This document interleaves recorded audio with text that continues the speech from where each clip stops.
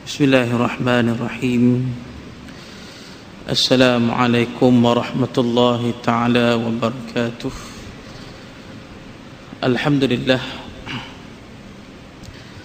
الحمد لله الذي نزل الفرقان على عبده ليكون للعالمين نذيرا.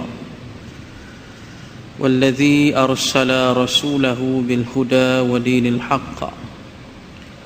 ليظهره على الدين كله ولو كره الكافرون أشهد أن لا إله إلا الله وحده لا شريك له وأشهد أن محمدا عبده ورسوله اللهم صل وسلم وبارك على سيد المرسلين وعلى آله وصحبه أجمعين سبحانك لا علم لنا إلا ما علمتنا إنك أنت العليم الحكيم ولا حول ولا قوة إلا بالله العلي العظيم.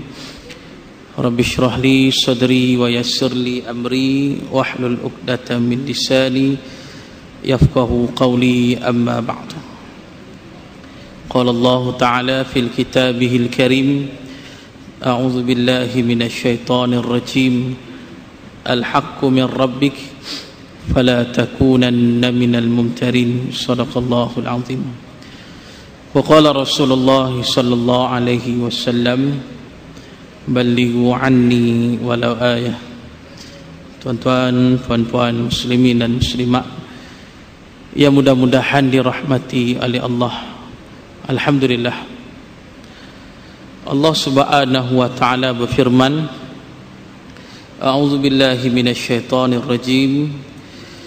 Innallaha indahu 'ilmus sa'ah wa yunazzilul ghaitha wa ya'lamu ma fil arham. Wa ma tadri nafsum madza taksibu ghada. Wa ma tadri nafsum bi ayyi ardin tamut.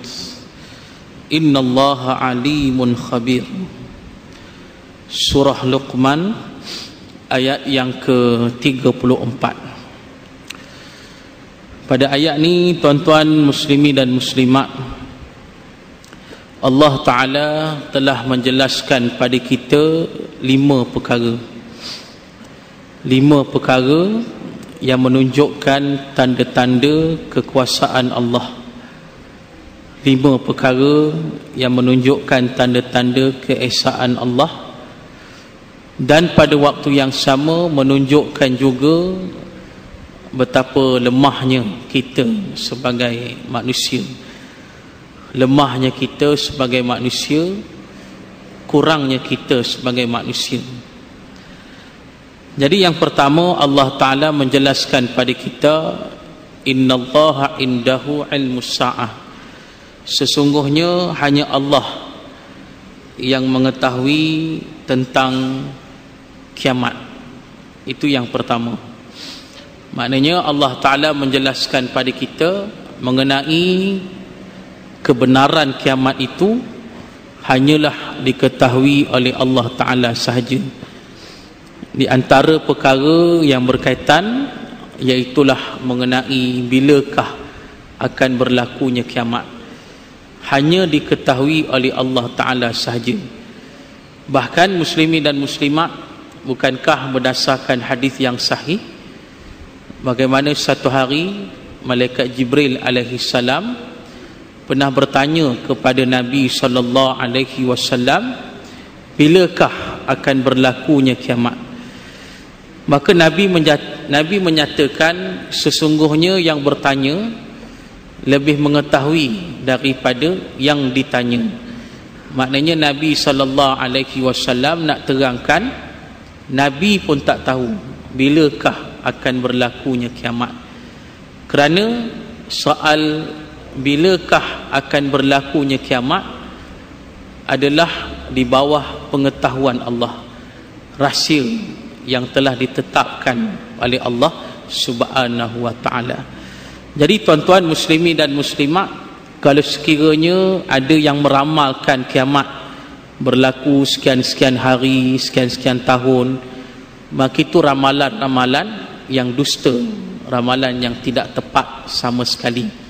Dulu kita dengar bagaimana ada seorang peramal satu ketika dahulu yang bernama Nostradamus yang meramalkan kiamat akan berlaku pada tahun 2010 tetapi ia sudah berlalu tak ada apa yang berlaku begitulah juga bagaimana satu kaum di Amerika Selatan kaum Mayan dia telah meramalkan kiamat itu akan berlaku pada 23 Disember 2011 dan itu pun sudah berlalu tidak ada apa yang berlaku. Ini menunjukkan ramalan-ramalan manusia makhluk adalah dusta semata-mata.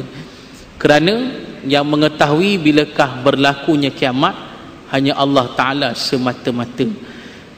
Tetapi tuan-tuan muslimin dan muslimat walaupun kita tidak mengetahui bilakah akan berlakunya kiamat itu tetapi pada waktu yang sama Allah telah turunkan pada kita pelbagai tanda-tanda yang menunjukkan hampirnya kiamat itu. Bukankah tanda-tanda kiamat itu ada tanda-tanda kiamat yang kecil dan ada tanda-tanda kiamat yang besar yang diterangkan dalam hadis-hadis Nabi sallallahu alaihi wasallam contohnya berdasarkan satu hadis yang sahih yang telah diriwayatkan oleh Imam Al-Bukhari dan Imam Muslim hadis ini diceritakan oleh salah seorang daripada isteri Nabi yang bernama Zainab binti Jahsy radhiyallahu anha. Zainab binti Jahsy menceritakan satu hari Nabi sallallahu alaihi wasallam sangat cemas. Fazi'an dalam keadaan yang cukup cemas. Nampak panik Nabi pada saat itu.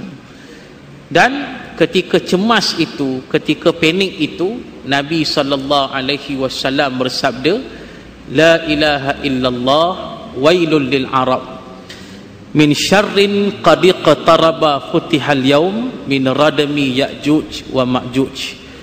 Kata nabi sallallahu alaihi wasallam la ilaha illallah kecelakaanlah kebinasaanlah yang menimpa bangsa Arab. Maknanya bangsa Arab akan menimpa pada mereka kebinasaan. Disebabkan kejahatan yang menimpa mereka pada hari ini sesungguhnya pada hari ini kata Nabi sallallahu alaihi wasallam sudah terbuka sedikit pintu Ya'juj dan Ma'juj. Bila saja Nabi kata begitu, maka Zainab binti Jahsy bertanya Nabi. Dia tanya ya Rasulullah, anahliku wa fina salihun? Apakah bangsa Arab itu boleh hancur, boleh binasa padahal di kalangan mereka masih ramai lagi orang-orang yang saleh masih ramai lagi orang-orang yang baik. Masih ramai lagi orang-orang yang beriman orang-orang yang taat. Apakah boleh binasa? Maka kata Nabi sallallahu alaihi wasallam na'am idza kathural khabath ya kata Nabi apabila kejahatan itu bila kejahatan keburukan kemungkaran terlalu banyak sampai mengatasi kebaikan-kebaikan tersebut. Jadi tuan-tuan muslimin dan muslimat, apa yang dimaksudkan pada hadis ini?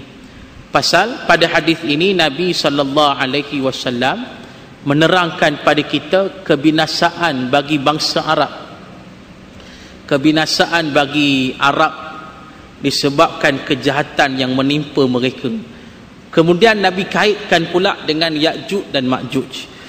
Jadi para alim ulama dalam mentafsirkan hadis ini mereka menyatakan Nabi nak menggambarkan di akhir zaman ni bangsa Arab telah binasa disebabkan mereka dikuasai oleh musuh-musuh Islam.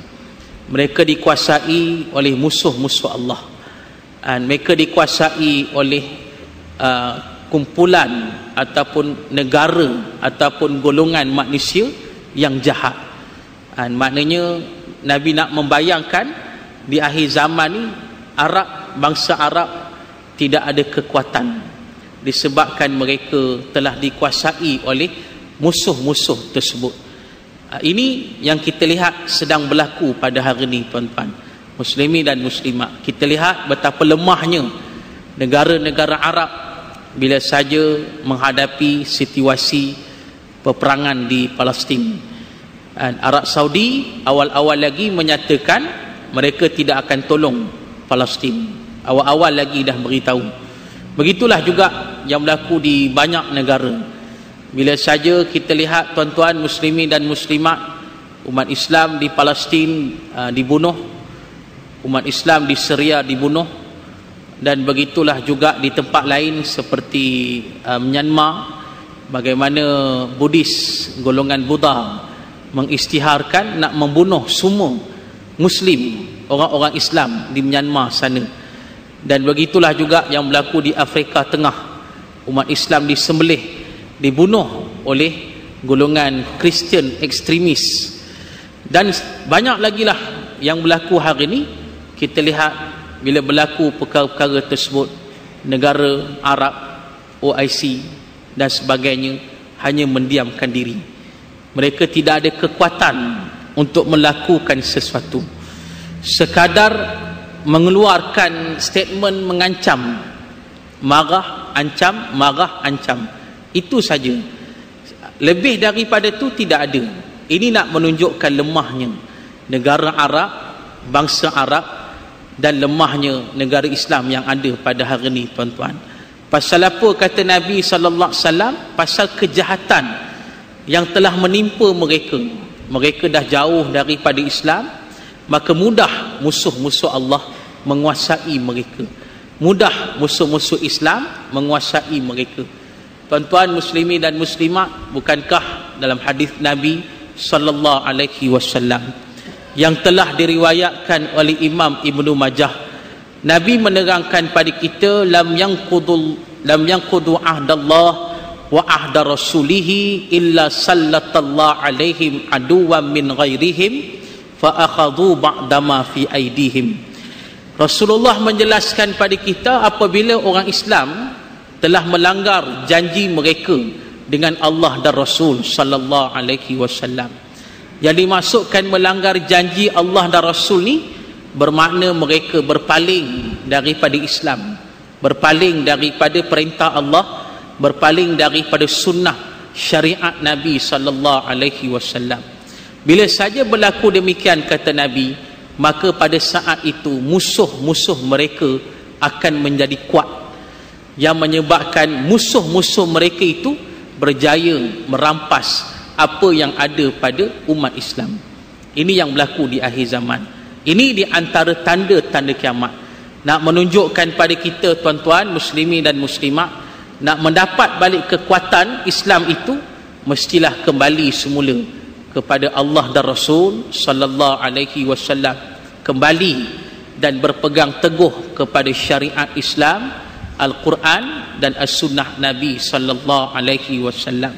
Nabi bersabda fatamassaku bih fa innakum lan tahliku wa lan tadillu ba'dahu abada.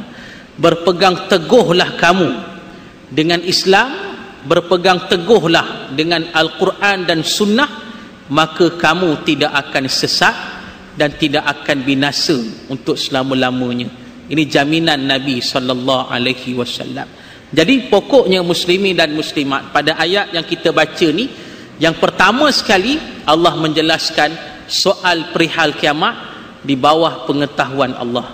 Bilakah akan berlakunya kiamat? Hanya Allah Taala saja yang mengetahui. Hari ini Allah turunkan pelbagai tanda nak menunjukkan supaya kita uh, mengambil iktibar supaya kita kembali kepada Allah dan bersiap sedia dan sebagainya. Ini yang pertama.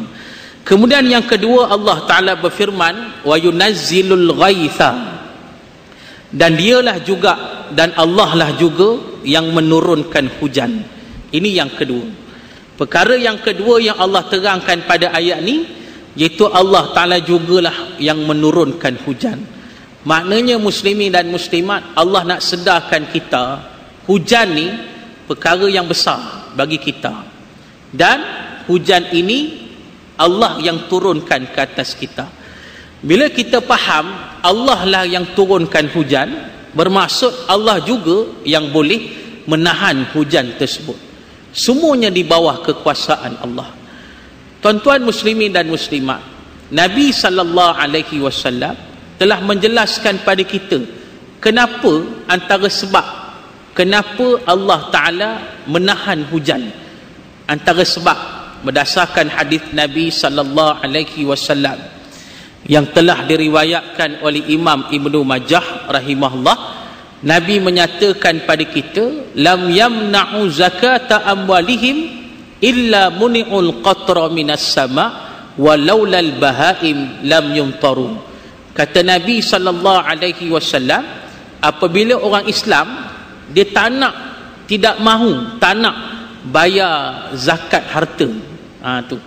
Tak nak bayar zakat harta maka pada saat itu kata Nabi sallallahu alaihi wasallam Allah taala akan tahan hujan dari langit. Ini tuan-tuan muslimin dan muslimat. Bila saja umat Islam tak bayar zakat harta. Hari ini tuan-tuan kita bila masuk bulan Ramadan memang kita bayar zakat fitrah. Kita bayar. Sampai setiap tahun kutipan zakat fitrah meningkat. Berpuluh juta bilion meningkat hebat. Fitrah kita bayar. Tapi bila bab zakat harta kita lalai. Ha, ni tuan-tuan muslimin dan muslimat walaupun dah tiba saat dah tiba masa dah cukup segalanya wajib dibayar kita tidak bayar. Dalam bab zakat harta ini kita pandang ringan. Kita pandang remeh. Dan kita sengaja menangguh-nangguhkan dan sebagainya. Ini perbuatan dosa yang besar. Ha, kata ulama bila tidak bayar zakat harta bermaksud mereka bersifat bakhil kedekut terhadap perkara yang diwajibkan oleh Allah Subhanahu wa taala. Jadi ini mendatangkan dosa yang besar. Pasal itu kata Nabi sallallahu alaihi wasallam bila zakat dipandang remeh macam tu maka Allah tahan hujan dari langit. Ha, maknanya hujan tak turun. Tetapi kata Nabi walaulal bahaim lam yumtaru akan tetapi kata Nabi sallallahu alaihi wasallam oleh kerana masih ada binatang-binatang yang hidup dekat dunia ni maka Allah turunkan hujan juga. Itu yang ulama kata kadang-kadang hujan yang turun ni bukan disebabkan kita tapi disebabkan binatang yang masih hidup dekat dunia ini. Kita sekadar menumpang saja tuan-tuan. Muslimin dan muslimat yang dirahmati oleh Allah. Jadi pokoknya kita kena sedar hujan diturunkan oleh Allah. Jadi ada apa-apa masalah kembalilah kepada Allah dan minta ampunlah bertabaklah kita dan pada waktu yang sama kita minta supaya Allah turunkan hujan ke atas kita. Ini yang kedua. Kemudian yang ketiga muslimin dan muslimat yang dijelaskan oleh Allah pada ayat ni iaitulah wa ya'lamu ma fil arham. Yang bermaksud dan Allah jugalah yang mengetahui apa yang ada di dalam rahim. Ha, ini yang ketiga. Dan Allah jugalah yang mengetahui apa-apa yang ada dalam rahim ibu. Itu maksudnya.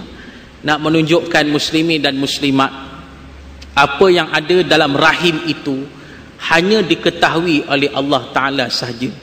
Kadang-kadang tuan-tuan muslimin dan muslimat kita berusaha macam-macam cara tetapi tak mendatangkan apa-apa hasil. Dan kita usaha kita cek semua okey semua sihat tak ada apa masalah. Tapi tak mendatangkan apa-apa zuriat ke atas kita. Pasal apa? Pasal nak menunjukkan kita ni makhluk sekadar boleh berusaha. Selebihnya kita serah pada Allah Ta'ala. Allah Ta'ala lebih mengetahui apa sebab Allah tidak kurniakan kita zuriat dan sebagainya tuan-tuan muslimin dan muslimat dan satu hadis yang sahih. Yang telah diriwayatkan oleh Imam Al-Bukhari rahimahullah. Bagaimana satu hari ada seorang Yahudi telah datang bertemu dengan Nabi sallallahu alaihi wasallam. Yahudi ni dia bertemu dengan Nabi pasal apa? Pasal dia nak confirmkan betulkah ini Muhammad yang diceritakan oleh Allah dalam kitab Taurat ha, tu. dia nak pastikan betulkah ini Nabi akhir zaman rasul akhir zaman yang dijelaskan oleh Allah dalam kitab Taurat. Jadi dia bila bertemu dengan Nabi wasallam maka berlakulah satu dialog yang panjang. Macam-macam soalan ditanya Nabi dan semua soalan-soalan tersebut dijawab dengan baik oleh Nabi sallallahu alaihi wasallam jadi tuan-tuan muslimin dan muslimat di antara persoalan yang ditanya oleh Yahudi ini ditanya ditanya kalau benarlah kau ni seorang nabi dan rasul? Kan? Jadi engkau kena jawab soalan ini iaitu dia kata kenapa? Kenapa dia kata anak-anak kita ni anak-anak kita bila kita dapat anak setengah anak ada muka macam ayah dia setengah anak ada muka macam ibu dia. Ha, tu. Yahudi tu tanya soalan ni. Ditanya kita susah juga tuan-tuan. Muslimi dan muslimat kenapa? Ada anak kita muka macam ayah muka macam kita dan ada anak kita ni muka macam mak dia. Kenapa? Jadi Nabi wasallam menjawab Nabi kata apabila bertemu apabila bertemu dua sperm dua sperma. Bila bertemu sperma ayah dengan sperma ibu. Bila berlaku pertemuan di situ pertembungan di situ maka kalau sekiranya sperma ayah itu lebih kuat daripada sperma ibu maka anak yang dapat akan muka macam ayahnya. Begitulah sebaliknya. Kalau sperma ibu lebih kuat daripada ayahnya maka anak yang dapat akan muka macam ibunya. Ini kata Nabi sallallahu alaihi wasallam. Bila Nabi jelaskan macam tu Yahudi ni kata sadaqta sadaqta. Engkau betul engkau betul. Yang menyebabkan dia masuk Islam. Jadi tuan-tuan muslimi dan muslimah itu uh, pokoknya apa-apa pun kita serah pada Allah. Uh, lepas ni kita balik rumah tengok muka anak kita macam siapa. Uh, kalau muka macam ayah kita menang uh, tu. Kalau muka macam ibu uh, isteri kita menang. Uh, tengok mana yang lebih kuat. Uh, ini yang dihuraikan oleh Nabi sallallahu alaihi wasallam. Jadi pokoknya yang kita nak sebut tadi proses dalaman itu diproseskan oleh Allah. Macam mana sekalipun. Kan sama ada sempurna ke tak sempurna ke hidup ke tak hidup ke semuanya di bawah kekuasaan Allah. Ini yang ketiga. Kemudian yang keempat tuan-tuan muslimi dan muslimat yang dijelaskan oleh Allah pada ayat ni firman Allah wa ma tadri nafsum madza taksibu ghada. Yang bermaksud dan tidak ada manusia yang mengetahui apakah yang dia akan buat pada besok hari. Ha, itu yang keempat. Tidak ada manusia yang tahu kata Allah. Tidak ada manusia yang mengetahui apakah yang akan berlaku ke atasnya besok hari apakah yang akan diusahakannya pada besok hari? Tidak ada manusia yang tahu kata Allah. Pasal apa? Ini nak menunjukkan juga tentang sifat kita yang lemah. Kita tidak tahu kita ni hebat tara mana pun kita boleh mencipta pelbagai teknologi tara mana pun kita tetap tidak ketahui apa yang akan berlaku ke atas kita besok hari ataupun yang akan datang. Muslimi dan muslimat pasal itu Islam mengajar kita sebagai orang Islam yang beriman pada Allah kita mesti ada rancangan merancang berusaha dan berdoa. Ini yang diajar oleh Islam. Ini tuan-tuan. Kita nak mencapai sesuatu mesti merancang. Kemudian usahalah ke arah rancangan tersebut. Dan kita selebihnya kita berdoa pada Allah minta pertolongan daripada Allah subhanahu wa ta'ala pasal itulah tuan-tuan muslimin dan muslimat terlalu banyak hadis-hadis Nabi sallallahu alaihi wasallam yang menerangkan tentang doa-doa. Nabi ajar kita macam-macam doa.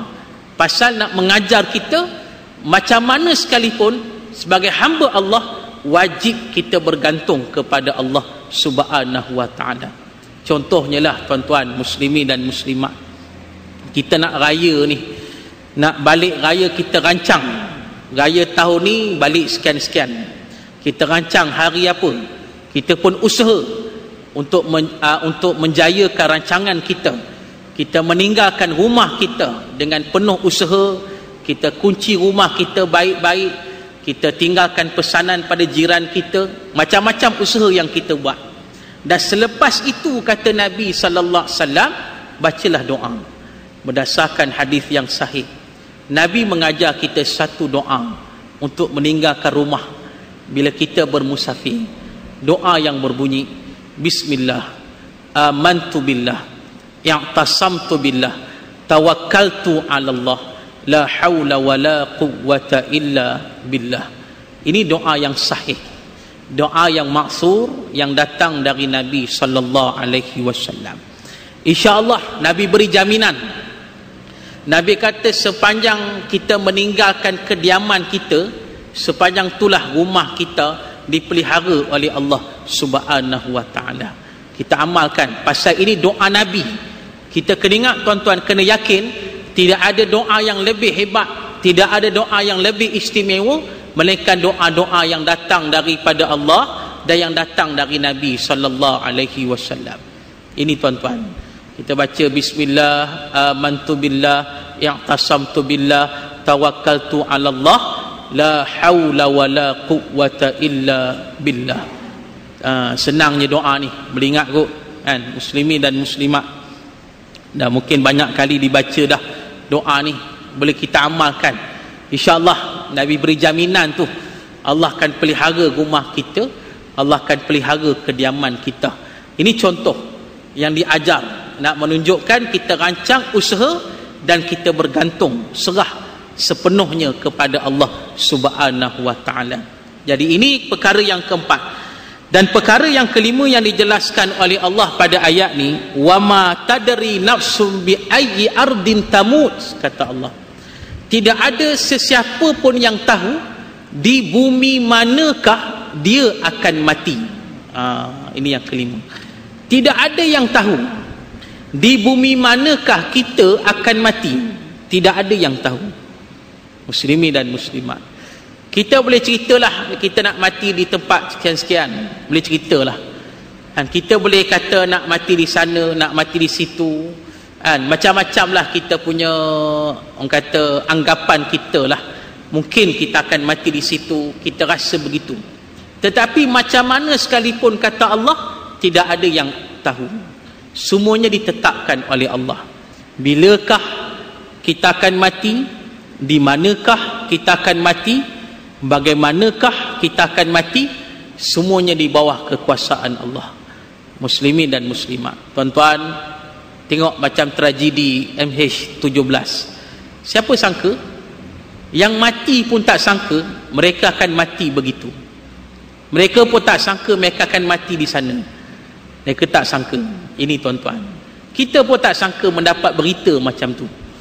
Ini tuan-tuan muslimin dan muslimat. Macam-macam lah. Orang kata orang kata ni lah.